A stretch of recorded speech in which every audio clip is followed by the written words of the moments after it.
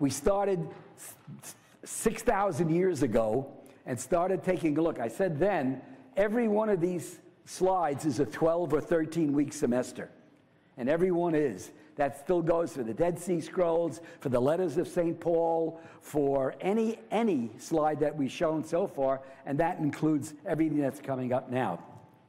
By full circle, I mean also in this 6,000 years, we started with the with, with these three religions. We call the religions of Abraham, Judaism, Christianity, Islam. Each one started, and then at, at some point, each one went into conflict with each other, with themselves and each other. I mean, Mary Dyer, she wasn't killed by a Catholic, she wasn't killed by a Jew, she wasn't killed by a Muslim. Mary Dyer was hanged by her own people, her own religious dissidents in Puritan America, where there was no religious tolerance at all for anybody except the Puritan way. So each of these religions has had trouble. Then we went off and followed the Jews for a longer period of time, looked at their literature, and now we're coming back to the 20th century. We did American immigration. We do all these historical things that I want you to know something about. And now uh, we come back. I give you no answers. All I give you for the next hundred years of, you, of your lives and the lives of your children are problems. So you're going to have to figure out, they're going to have to figure out uh, what this full circle uh, uh, really represents. Uh, uh, a conflict of faith, human nature, what, what's it going to be all about? We know one thing that the God of these three religions created humanity and then did what? He got sick and tired of them, and what did he do? He destroyed them all. All three religions believe that the flood, he eliminated humanity. Then he brought them back together. He saved Noah and his family, then said, I got to remind myself not to do this again. And what was his reminder? What was the knot in his handkerchief, in God's handkerchief? What did he put in the heaven to remind him not to kill everybody again?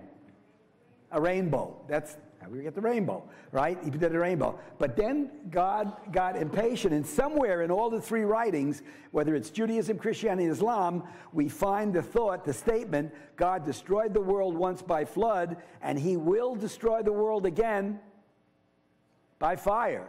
So that's laying out there. Will he or won't he? And as we enter the 20th century, things are getting a little bit hairy. And we want to take a look at that hairiness before we go back to our literature and see exactly what's going on. You know, we got the 20th century, uh, uh, the history, uh, a history lesson for the millennium and the apocalypse. The millennium is that thing that says eh, eh, when a thousand years is over, the world is going to shake on its foundations.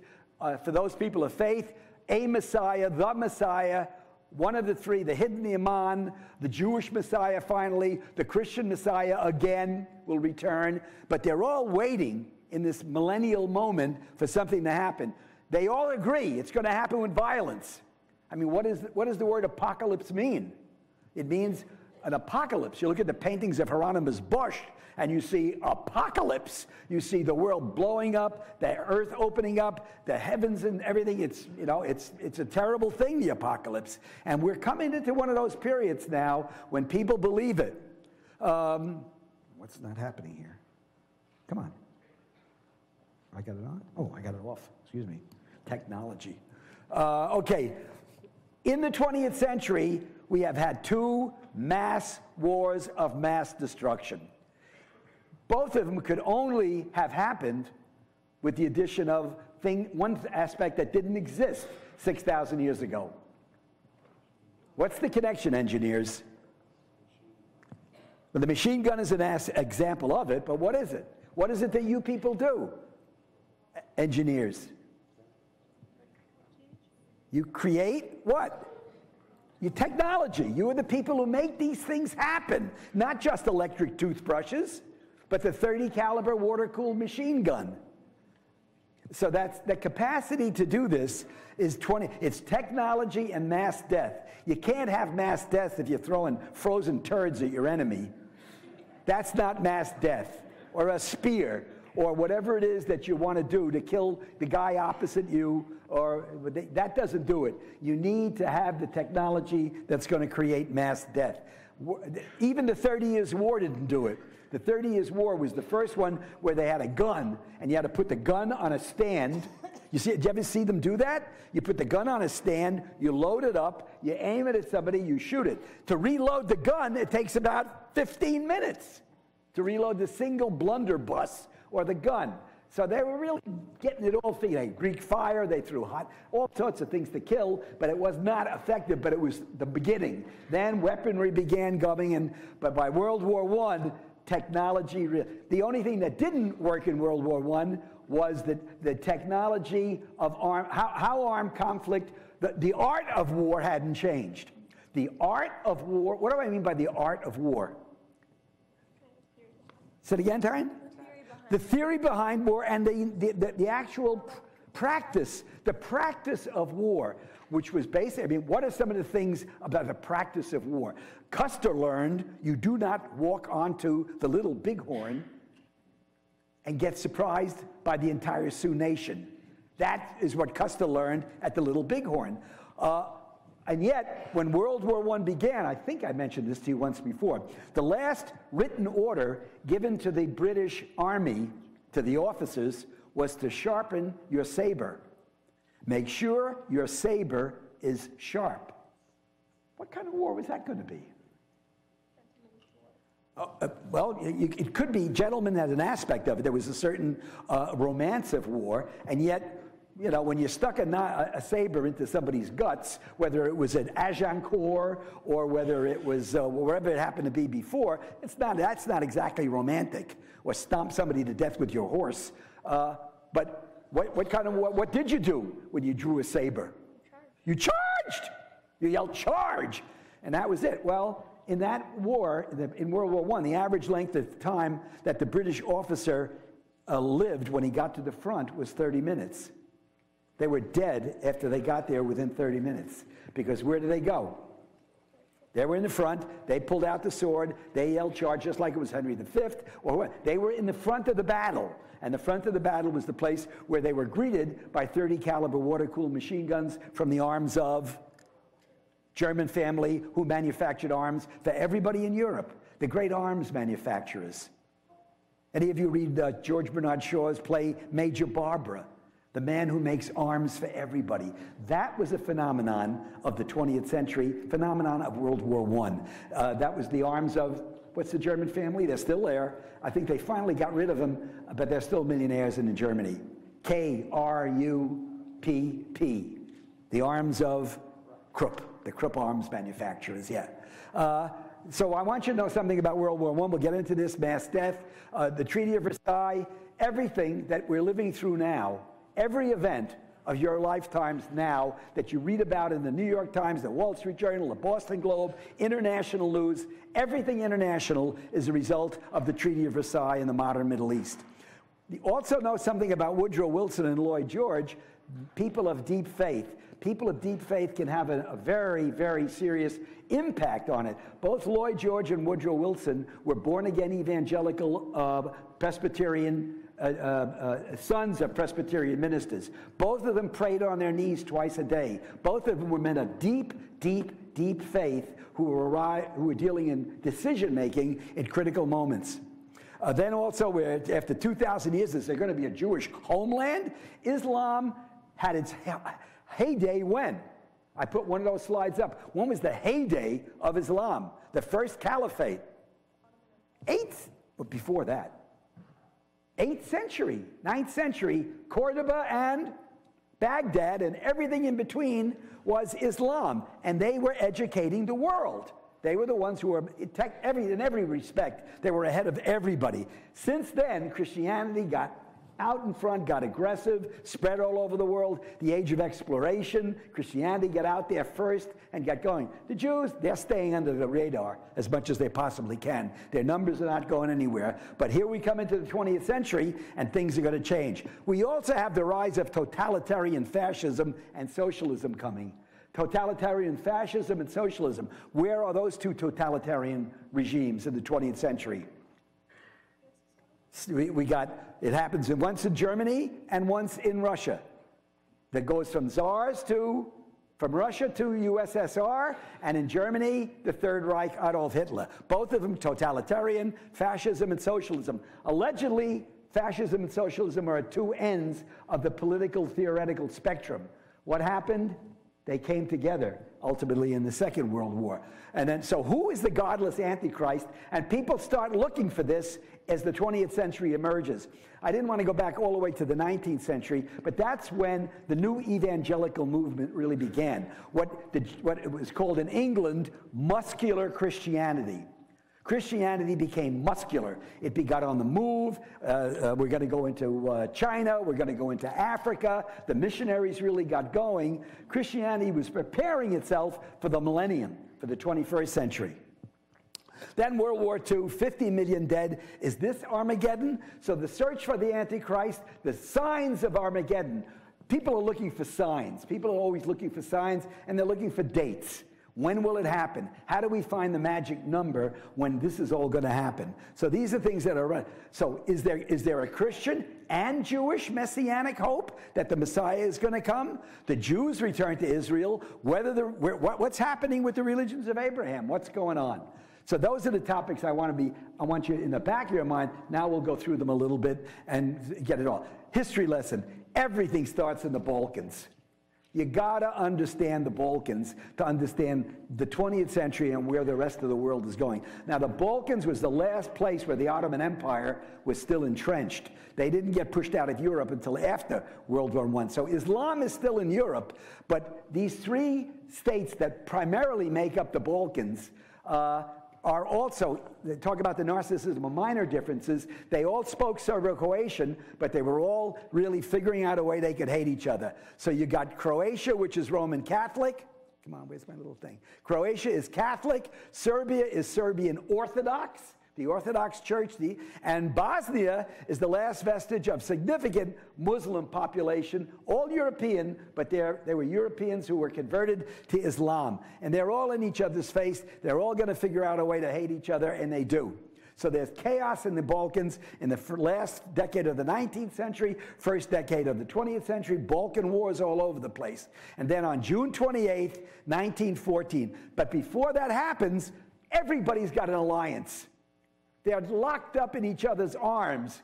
I mean, what are our alliances today? What are the American alliances? We got NATO. What, are the, what, what other alliances are there? We got, say it again? We got that. We got NAFTA. We got uh, uh, that. We got uh, NATO. Uh, what's what's going on in Ukraine? NATO reached eastward when the Soviet Union fell apart, and what did NATO do? Had a chance. They went and they grabbed who joined? Poland joined, the former Soviet states joined NATO, the Russians, who were born paranoid, get more paranoid, whatever happens, it's still alliances. And in Europe, at the end of the 19th, beginning of the 20th century, were, real, were not alliances. One woman tied it all together. She was related to every royal house in Europe. She was the grandmother of czars and Kaisers, great great grandmother, uh, grandmother of czars and Kaisers. Who was she? Who is the woman that, if you really want to understand what's going on with all these alliances, you really have to go to? She was the Queen of England from 1837 to 1901. Add that up. 1837 to 1901. She's got an age named after her. The Victorian age. It's Victoria. All her children, grandchildren, nephews, aunts, all they do is intermarry. And so you got alliances, all sorts of things. Most of these people, so you got the two big ones, the Russians, the French, and the Brits, and the dates are up here. They form one alliance, the Triple Alliance. Italy, Austro-Hungary, Germany, and then finally at the end, the Ottoman Empire, they form, this forms another uh, another alliance. Then the Balkans, we got Bulgaria and Serbia. They're another one. It's aid, treaty, alliance. Who's dealing with whom? Who's breaking down? You know, the, the great game. Who's going to conquer? They're all also fighting over a country so far away that nobody knows where the heck it is. But everybody goes to war in Afghanistan. Everybody in the 19th century wanted to go to war in Afghanistan. It was on the southern border of Russia. They thought, who controls Afghanistan will be able to get into the soft underbelly of Russia and also control all the opium and all the dope that's swinging around. So everybody, where the hell was that? Nobody. And who won any of those wars in the 19th century? Nobody. We lost every one. But people haven't learned the lessons of history, so they just passed that one. So this is what we were producing. Then on June 28, 1914, the Archduke Franz Ferdinand, who was the heir to the Austro-Hungarian Empire, heir to the Austro-Hungarian throne, assassinated by a Serbian nationalist. That was June 28th. What does Europe do in July? Europeans go do what in July? What do Europeans do in July? They're never around. You can't find a European at home. You go to Paris, Paris is deserted. You go to Berlin, it's empty. You go to London, it's empty. Where do they go? They go on vacation. Europe went on vacation in July, except every general staff. And what did the general staffs do? The Serbian insulted, because he was a, uh, a Serbian, insulted the Austro Hungarians, whose ruler was killed, and they said, if you don't apologize big enough, we're going to come in there and kick your butt, Serbia. The Serbians go to their Slavic friends, their Slavic elder brother. Who's that? Russia. Don't let him do this. Don't worry, we'll take care of you. The Germans go to the Austrians and say, We're with you 100%. And so it starts. And every general staff says what? Mobilize, mobilize. So while Europe is on vacation, the European armies begin to mobilize. They hadn't had a war for 40 years. It looked like Europe would never go to war again. It was everything seemed hunky dory in Europe. They would never go to war again. And before, when, when August 1st came, the Germans crossed the border, invaded neutral Belgium, went into France, and World War I began by accident. It was a war that nobody anticipated. Very few people did. The guns went off in August. Everybody said it was August. They looked at their calendar and said, oh, well, we know one thing. It'll be fast, it'll be quick, and we'll be home by Christmas. Everybody believed it. The Germans believed it, the British believed it, the French believed it, everybody believed we will be home by Christmas. They all uh, declared war on each other quickly, boom, boom, boom, boom. They said everybody thought it'll be a quick slap in the face. Uh, somebody will, will, uh, will blink and will send this thing, we'll get this thing all straightened out. It didn't happen. And everything that's happening in your lives now and that will happen with the lives of your children, probably your grandchildren, is a result of the mistakes and errors of World War I and total miscalculations of World War I. Trench warfare from the English Channel to the Swiss border.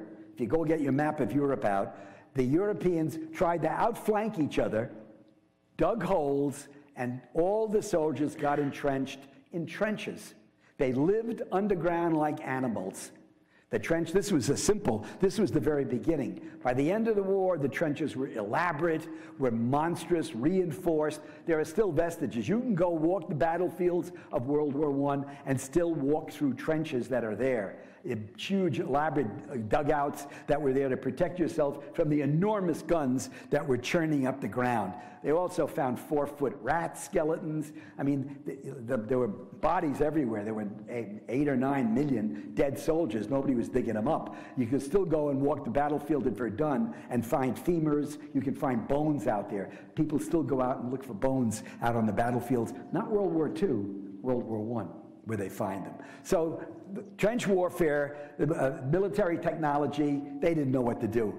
The beginning, of the real technology, World War I, the beginning of technology, the beginning of air, air warfare. Now, it was still, somebody mentioned the fact that these were gentlemen. They were knights, knights of the air. So somebody said, well, we've invented a parachute. Most of the pilots wouldn't use them. Why? Not gentlemanly. It's not a gentlemanly way to die. When you die, your plane gets shot down, what do you do? You salute the enemy and go down in flames. That's the gentleman's way to die. So this is what it was. Uh, the, the, parachute finally came in, and then when they finally developed the means to shoot through the propeller, and you, you were able to use the machine gun in front, that made it a much more bloody war. Places were bombed. They had bigger planes. But look at this compared to what we've got now. It's ironic. Where are we back? What's now the newest technology? What have we done away with? In your lifetime, there probably will be no more pilots.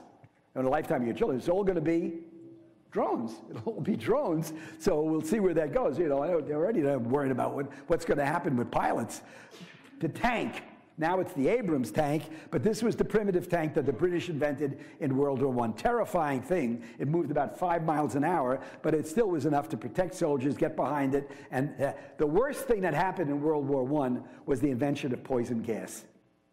And that was uh, uh, this painting by Otto Dix terrifying painting. Everybody had gas masks. The most terrifying scene was a horse with a gigantic gas mask because they, they needed horses. It was not yet a mechanized army. So this was scary. The horrors of World War I, blinding, gas blinding, and Nobel Prizes. In 1918, Fritz Haber, German, won the Nobel Prize for his invention, uh, use of chlorine and uh, phosgene in the manufacture. It that, you know, one of the most obvious byproducts was the gas, but he won the Nobel Prize for it anyway. Uh, uh, the Germans were winning all the Nobel Prizes. American higher education was way behind. The Germans, uh, they were the, the great academic nation of the world at the time. They gas blinded, Nobel guts, lungs being coughed out. We were not in the war, there's a new book out by Erik Larson now on the Lusitania. If you get a chance to read it, it's a very good book. Larson wrote the, uh, the White Devil in Chicago, and he writes good, good nonfiction stuff. And the study of the Lusitania, the sinking of it 1915, uh, um, uh, Wilson was determined to keep America out of the war. He got reelected in 1916, said we'll stay out of the war. We didn't. We turned very violently anti-German, and the United States declares war on Germany. Up until then, it was a stalemate. When we got in, we turned the tide of the war. Uh, we brought huge arms, not many soldiers, but huge arms manufacturing, so that when the war ended, finally, November 11th, 1918, what do we call it? You guys call it what?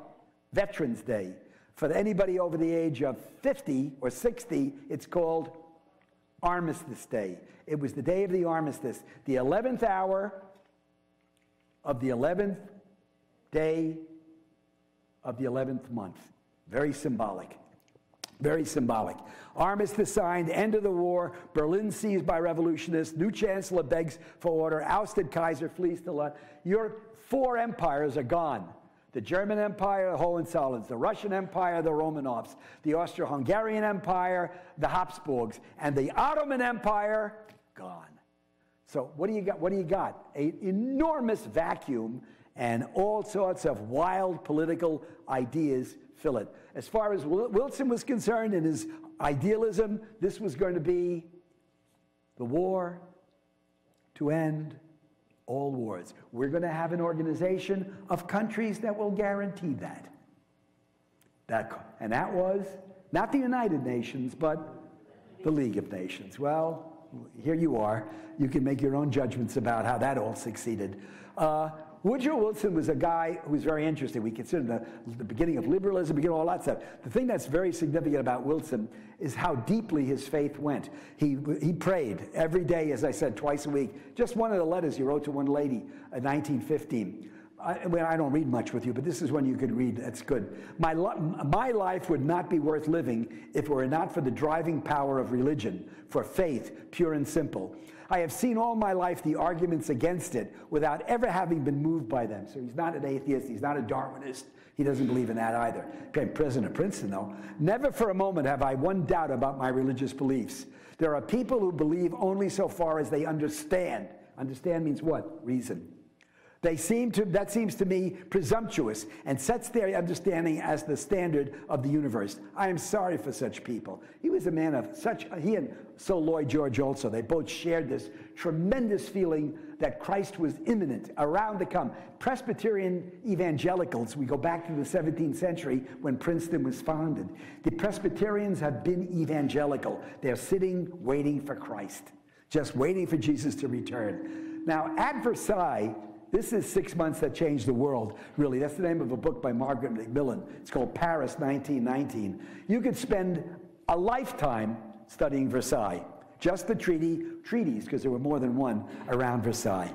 You know, uh, they, they didn't invite the losers to Versailles. Who are all these people?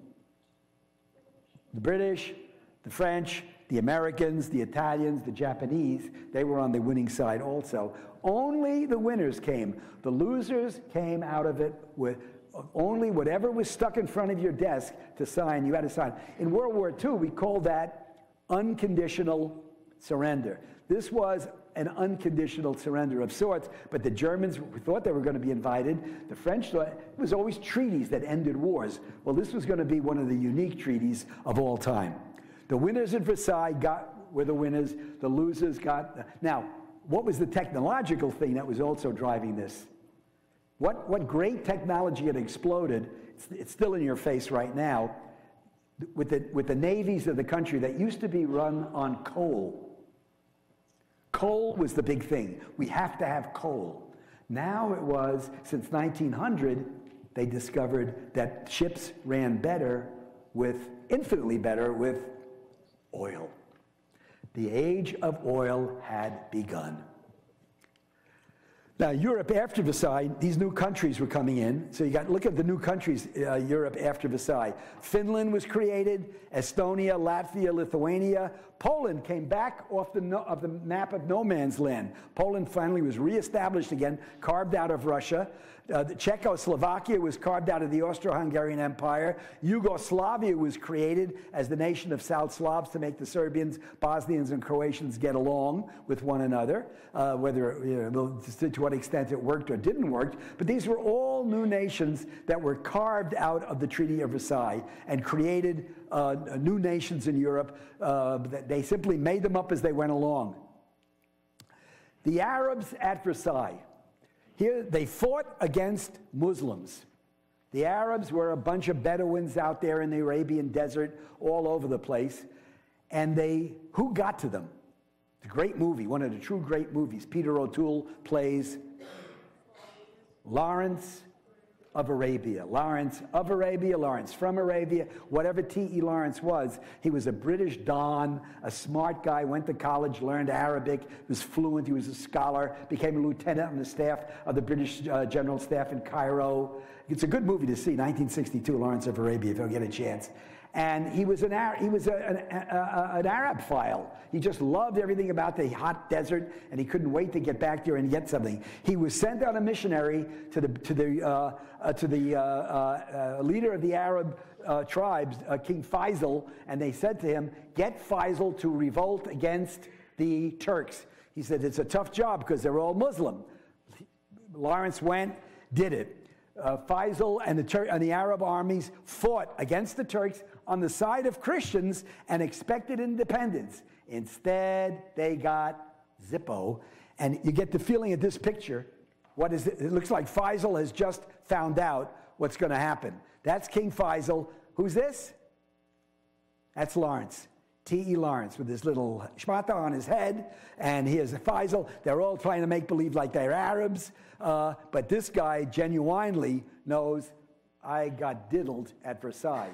They expected independence and they didn't get it. What they got was oil in the Garden of Eden. Now, we're in this spot, in this geographic spot, don't forget, where three religions believe that all the action is going to take place. And now it's turned out to be political. The French mandatory area out of Versailles, the French get what amounts to Syria, and they create all these nations. The British mandate, what we call Transjordan, uh, Iraq is in there somewhere, and the British and the French divide it all up. The French and the Great divide the spoils. This is the Sykes-Picot Treaty. That was the secret treaty designed by the French and the British to, design, to, to, to really find out how long they could control the oil of the Middle East.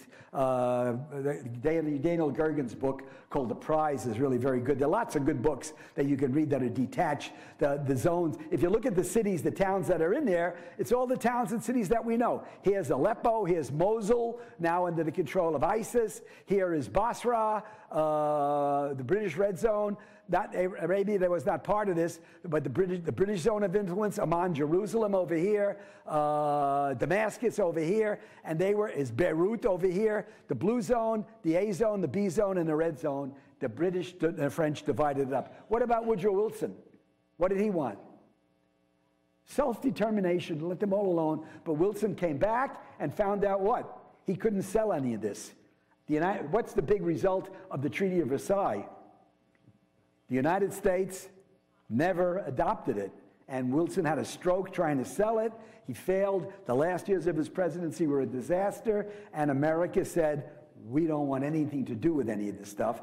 And the Brits and the French started licking their chops. It's all ours. We've got it. And that's the way it happened in the 1920s. Just to remind you, Abraham's 4,000 years earlier, we were in the same place. Right? Here's Ur of the Chaldees. Here's modern Baghdad. Here's Haran, where uh, in book of Genesis, Abraham is told, uh, go and travel. Here's Damascus, here's Hebron. So this is, this is it. And so people of faith are seeing this and saying, it's got to happen soon because all of this turmoil is happening here. In the middle of it comes the British decision to acknowledge the possible creation of a Jewish state in the middle of the Middle East. The Balfour Declaration is one page long, but it's a, an enormously important page. The date, November 2nd, 1917. Can I read it without my glasses? Uh, no, I need my glasses. Dear Lord Rothschild, signed by Lord Balfour, uh, the British uh, foreign minister, I have much pleasure in conveying to you, on behalf of His Majesty's government, the following declaration of sympathy with Jewish Zionist aspirations which have been submitted to and approved by the cabinet. And here's the, here is the whole thing. This is it, from here to here. His Majesty's government view with favor the establishment in Palestine of a national home for the Jewish people uh, and will use their best endeavors to facilitate the achievement of this object. Here comes a clause. It being clearly understood that nothing shall be done which may prejudice the civil and religious rights of existing non Jewish communities in Palestine, that's the indigenous, or this one's the, or the rights and political status enjoyed by Jews in other countries. Why that last line is important.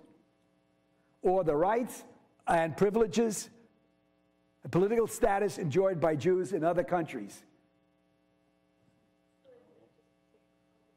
So that the Jews who are in England, in America, in any other country who were not Zionists knew they didn't have to go. Many of them didn't want to go. Zionism was for the Zionists, and uh, like Martin Buber, who was a great Jewish academic, intellectual uh, rabbi, said, When I talk about Zionism, I smell pine trees, not palm trees. What did he mean by that? Buber was a German. He said, When I talk about Zionism, I smell pine trees. That means Buber had no intention of going anywhere. He was, from the tips of his toes to the tops of his hair, a German. Well, Hitler changed all of that. But this is the Balfour Declaration. I shall be grateful if you will bring this declaration to the knowledge of the Zionist Federation. Herzl died in 1904. Again, he, uh, he would have settled for South Jersey, Arizona, Uganda, uh, wherever he could get a place for the Jews. He was not territorially interested. He wasn't interested in the Bible. He wasn't interested in the homeland in the Middle East. He would have settled for anything. He would have taken Israel if he, or that area if he could have gotten it, but he was looking for Argentina if he could have gotten that, the Pampas, part of Patagonia. So here we go. Now, for the faithful, for people of faith from the 19th to the 20th century, when will the final struggle begin? Because worldwide, you've got hundreds of millions. Don't forget, how many Christians are there? Are already over 2 billion, and they're growing. And maybe five, six, seven, eight hundred million of them are evangelical. They're waiting for Christ to return. So, for the faithful, when will the final struggle begin? Was World War I the awaited apocalypse? It certainly looked horrible enough. Will there be more violence and mass death? Uh, where, when will we find the signs? What are the signs? People are constantly looking for signs, searching, and, and we know what's going to happen because who's going to show up in this final cataclysmic struggle? The Antichrist. The Antichrist will be there. So, who's the Antichrist? You go online now and you Google Antichrist, you're going to find 3 million hits. Who are the most popular Antichrists today? It could be Ayatollah Khomeini, if you go online, or Ayatollah, whatever his name is, one of the Ayatollahs. It could be Barack Obama, who's on the big, big list of, of uh, antichrists. It could be a pope if you're really anti Catholic. It could be any number of people. I think I saw Brad Pitt on the Antichrist list also. I mean, you got them all out there because you got all sorts of people who pick out who they consider for the Antichrist. But in the 20th century, you know, then there was Christian Zionism, which really exploded after the Balfour Declaration and the idea that there might be a Jew. What did they see this as? What did Christian Zionists see the Balfour Declaration as? The Jews have to be back in the Holy Land to witness the coming of Christ.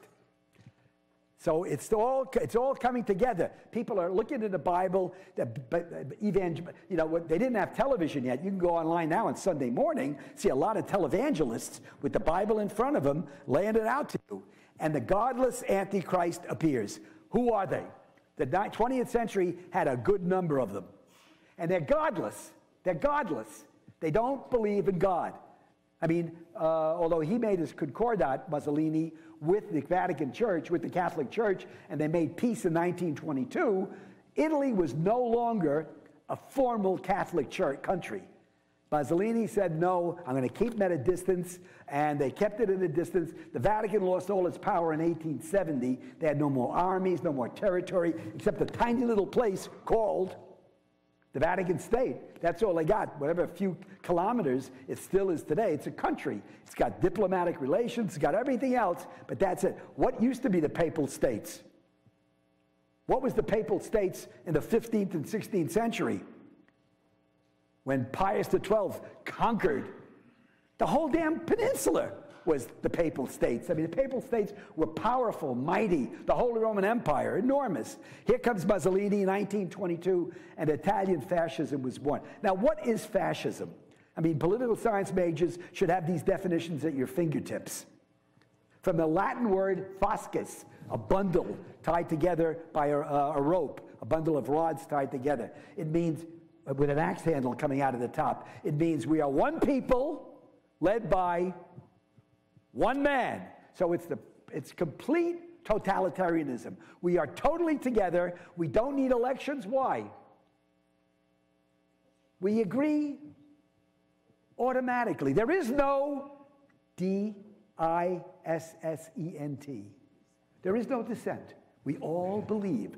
And so democracy in Italy went out the window.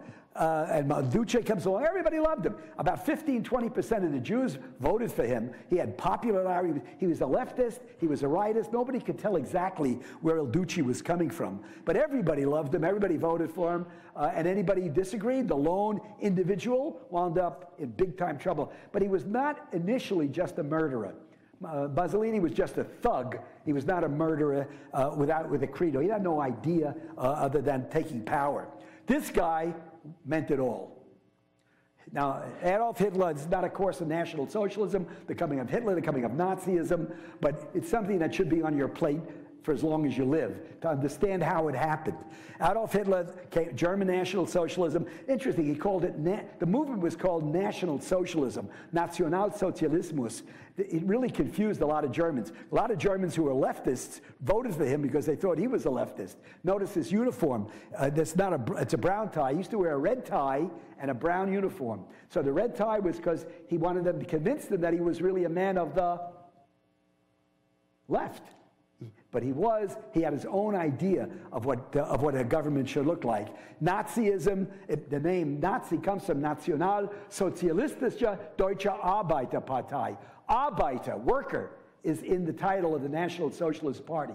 So he can, the Germans couldn't figure out what he was. All these people, all they had was emperors and kings. They didn't know what popular democracy was all about. And, but Hitler had it all. And he had laid it all out.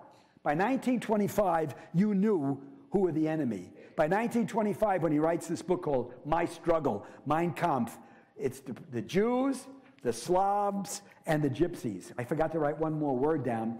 The Slavs and the Gypsies, the Slavs were a problem because they occupied territory that the Germans needed Lebensraum, the space. And that meant which two countries had to get it. And he laid it out in 25. At some point, we need he was going eastward. He, knew, he didn't know he was going to take France. We need Poland and Russia. I need the land, I need the food, I need it all. And that's what he was going. Jews and gypsies, he, he learned that from, the, from American eugenicists. They were already deep into racial thinking at this time. Remember, America closed the doors in 1920 because of the testimony in front of Congress of academics from Johns Hopkins, Harvard, Georgetown, uh, all over the United States who's saying the, the head, the shape of the immigrant coming off the boat in Naples does not have enough room to have any brains. Phrenology, bumps, IQ tests had already come in. Uh, uh, uh, Binet, all these people were saying we can judge who's intelligent and who's not intelligent, and the vast majority of the people from Southern Europe and Eastern Europe are ignorant and stupid. And new words come into the American vocabulary. Words like imbecile, moron. These were clinical terms, not insults, clinical terms. This person is clinically an imbecile. This person is clinically a moron.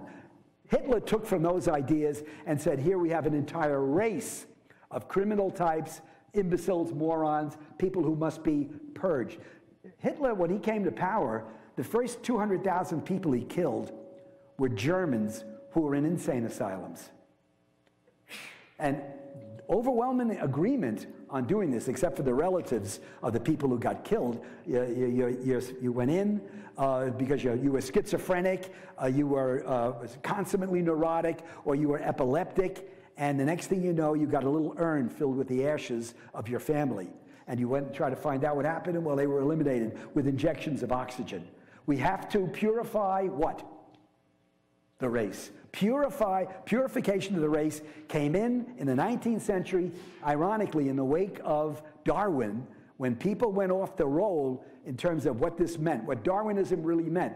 What, what terms did they use? The social scientist Darwinism. Survival of the fittest. Well, how do you determine fit? We got to test their brains. And out of this emerges the whole history of testing of IQ testing, of, of all the testing that emerged from the 19th into the 20th century. Hey, we're still doing it. We haven't gotten away from it. The other great one, the Soviet dicta, dictate, dictator, godless communism. And the, the, he came to power in 1922, 20, 24, actually after Lenin died. There was a battle for power in the Soviet Union, another 13-week semester, and Joseph Stalin becomes the dictator of, uh, of the Soviet Union, of USSR, uh, uh, we look at communism as a godless fate. We don't want anything to do with it. It's interesting. The Vatican excommunicated all of the communists, but they excommunicated, none of the Nazi Catholics. They were stayed. They still were able to get uh, marriage and can do any of the uh, uh, any of the sacraments. It all September 1, 1939. The apocalypse is starting. World War II, Warsaw was bombed, and this is it. I mean, all of a sudden, it's not little airplanes, it's massive numbers of Luftwaffe planes coming over and destroying. It looks like Sodom and Gomorrah getting destroyed. This is the fate of Polish intellectuals. This picture happened to get saved. This is uh, Germans executing the faculty at the University of Krakow. Bullet in the back of the head. All these guys show up here. There goes this department, that department. The idea was to eliminate all the Polish intellectuals. And they just shot them one after the other, threw them in a mass pit, and buried them. So if this didn't look like, uh, if this didn't look like the apocalypse, nobody, they were all, this has got to be it. So they're all, the, Pius XII who was the Pope during this time, became Pope in 1939, 1958. He stayed, is still a controversy. He's also on the list of the Antichrists. He was a biggie on the Antichrist list because he was a Germanophile. He loved the Germans. He was German papal nuncio, uh, ambassador to Germany from 33. He was, the Vatican was the first state to recognize Nazi Germany.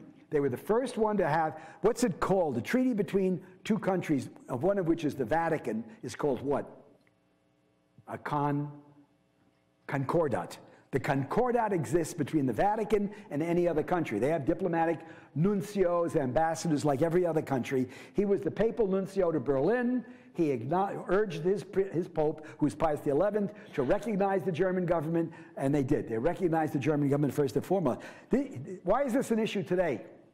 Catholics, why is this an issue today?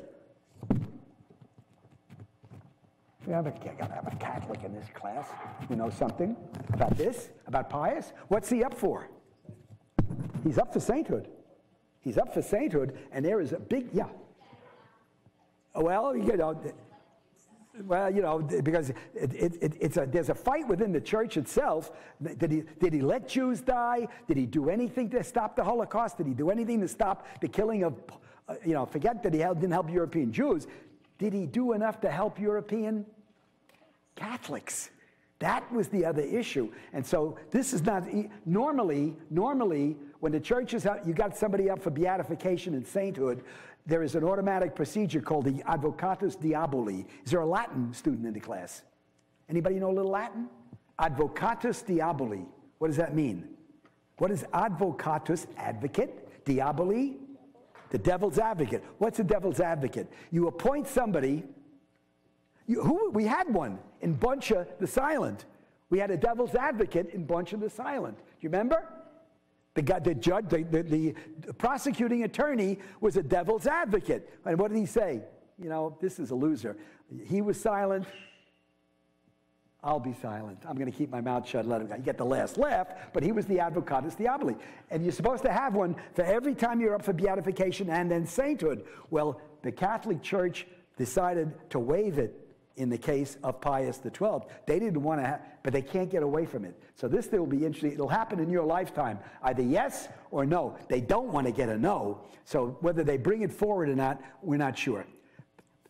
Thousands of Catholic priests died in the, in the, in the Holocaust. Thousands of Catholic priests. This guy was the first, and he was sainted. Father Max Kolbe, the first priest to die at Auschwitz. Where was the church?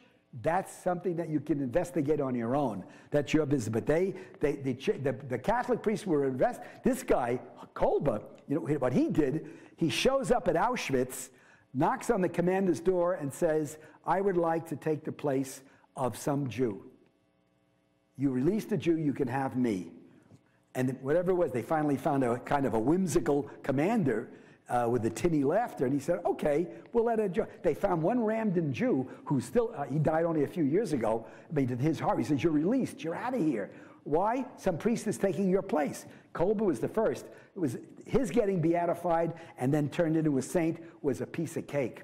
This guy was genuinely something like that. But thousands of priests died. Many of the priests who died were Jews who had converted when they were young.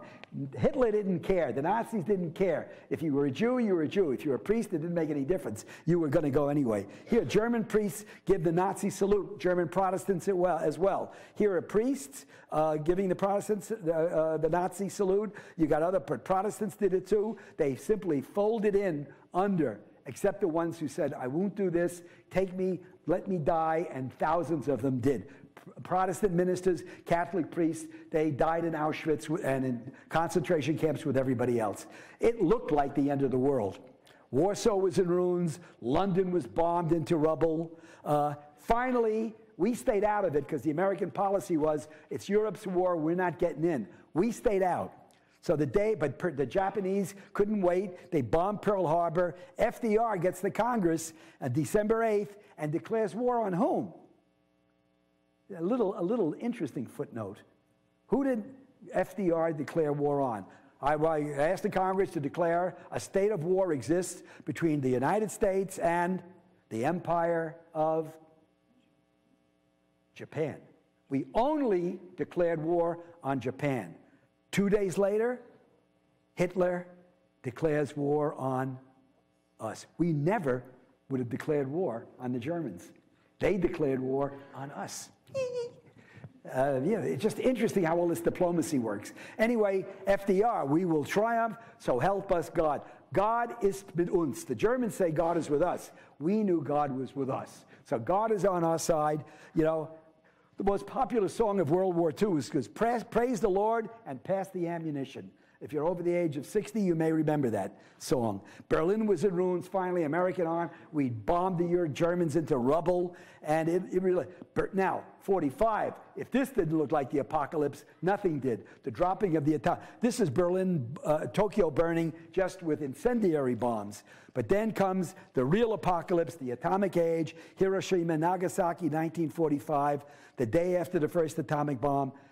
People are ready. This is it. When will Christ return? There's a young Baptist minister in the United States who by 1950 is already filling up football stadiums. He's still alive today. But already in America, there were 20, then 30, then 40, then 50 million evangelicals who said Christ is on his way because who said so? This young Baptist evangelical name who could preach your socks off, Billy Graham. Billy Graham. You go Google Billy Graham if you'd ever heard of him, and he is the he was the consummate Baptist preacher who could, I mean, he came just at the right time. What new technology gave Billy Graham his great moment?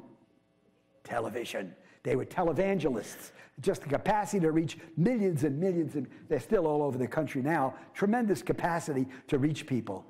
Now, what, what was this thing called World War II? We, there were thousands of mass graves like this all over Europe. I mean, people, we don't know who's even in here.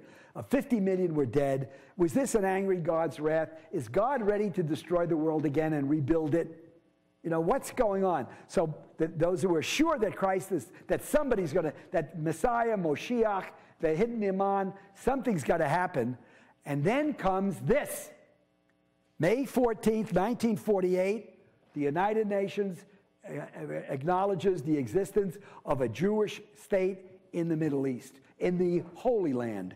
And is this the sign for Christian evangelicals, for those, I mean, of the Jews had already been decimated. If I mean, 6 million out of 14 million are dead, you got 7, 8 million.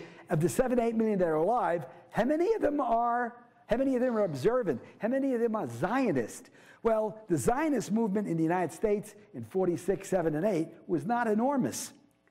The Jews in this country had been there now second generation, third generation, they're old folks that uh, died or 80 or 70 and they're in a nursing home. This is a generation coming back from World War II, having fought, and what do they want? What do they want? The overwhelming number of American Jews. They may be interested in the Jewish homeland, but what are they? What do they want? They want a car. They want a split level home in suburbia. They want the real estate agents to get the hell out of their way. They want the American dream. The Amer- and how do you get the American dream? You assimilate and you put yourself in a pot with an Italian, with an Irishman, with a Pole, with everything. And what do you do with the pot? A little water, a carrot, a celery. And what do you do? You cook it up, and what do you make?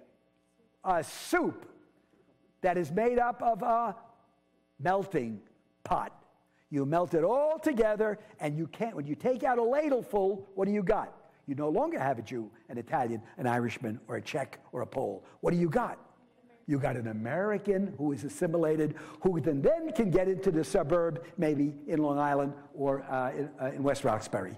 So the state of Israel comes along, but for Jewish, for Christian Zionists, this is the biggest thing in the world.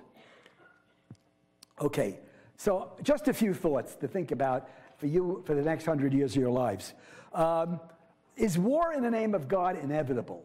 I don't have the answer to any of these. All I got is questions. Does it, does it have to be constantly war in the name of God? Is war without God inevitable? I mean, you had uh, Hitler and Stalin were atheists. They didn't care. They killed more people than anybody else. I mean, 50 million. Hitler was responsible for all the people who died. And Stalin is God knows how many people he wound up killing. What changes?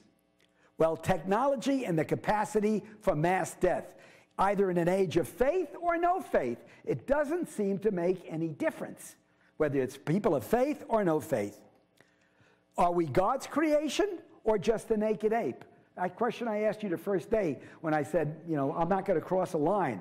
I don't have the answer to any of these, but those are the two big issues. Did God create us in his image, or we, as uh, uh, Darwin said, and then uh, uh Edward Wilson, the great Harvard ethnobiologist, says, you know, our time on earth, Wilson says our time on earth is maybe another thousand years. And then, who takes over?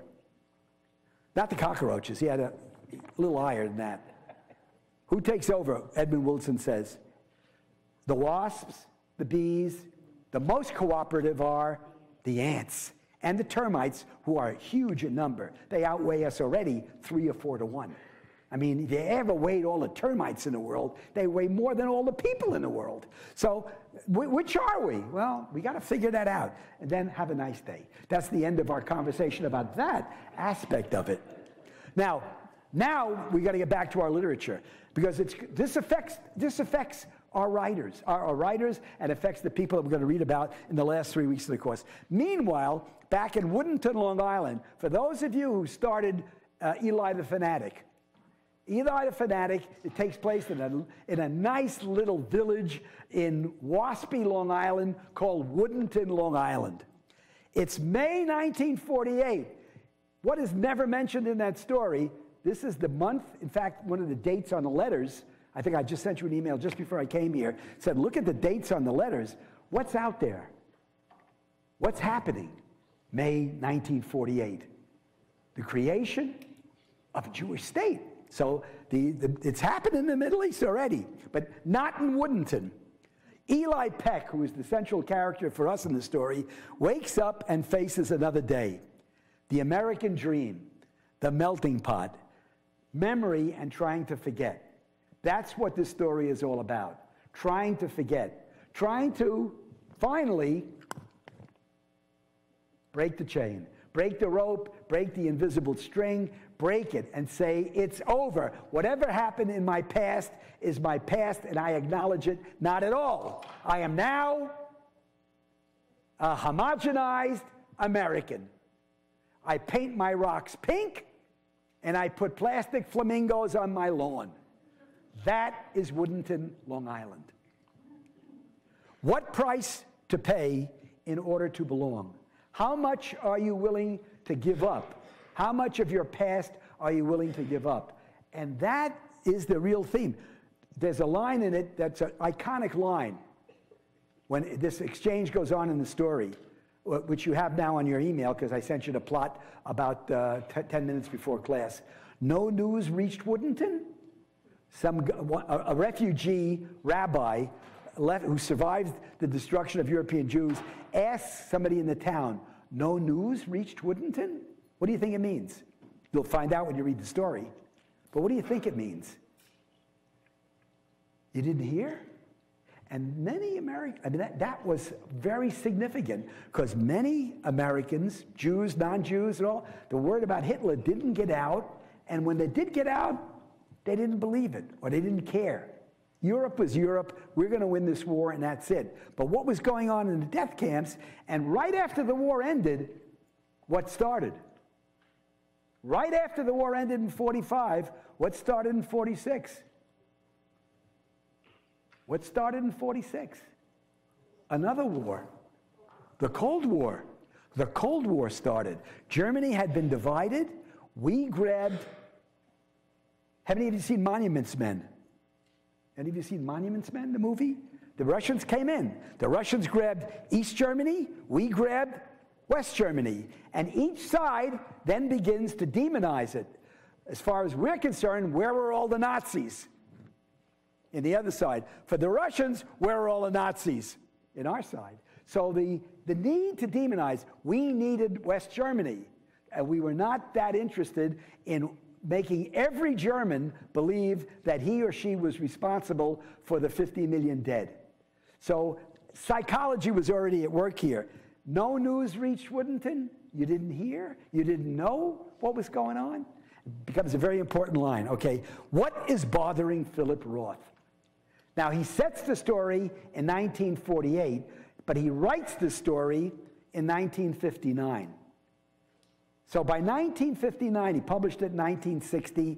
Roth is bothered by something. We, we, you know, we have a general idea what was bothering Sholem Aleichem. He, but what was bothering him was these people better know they got to get out of this country. It's not going to work. And there are too many old Jews who don't get it. Poor Tevye and Golda don't understand. Their kids understand. And the old ways are going to go. That was basically, but Sholem Aleichem stayed out of it as much as he could.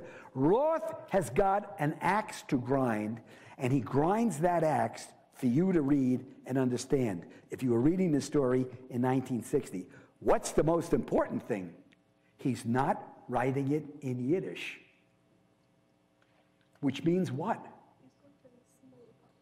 He's writing it, yeah, but who can read this stuff? Everybody. So when he writes something nasty about a Jew, about Menachem Mendel, Padatzur, who you know most of, they're Jews in kaftans running around hiding uh, in the Sholem Asch stories. Uh, when he writes something, it's not just for the Jews to read, it's for everything to read. Mario Puzo, the author of the novel The Godfather, was called by many Italians who resented this image of the Italian being only associated with crime and the underworld. So he was called a self hating Italian.